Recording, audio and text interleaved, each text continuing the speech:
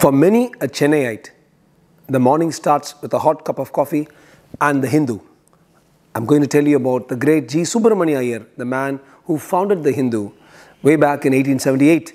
Not only did he found it, he was a founding editor, a social reformer, philosopher, and a great freedom fighter. For having a remarriage for his widowed daughter, he was ostracized by society. For attacking the British government, he had multiple financial cases on him. And unfortunately, after 20 years, the paper faced financial straits and was taken over by Kasturi Iyengar and Sons. This is the story of the great Subramania Iyer, founder of India's leading national newspaper, The Hindu.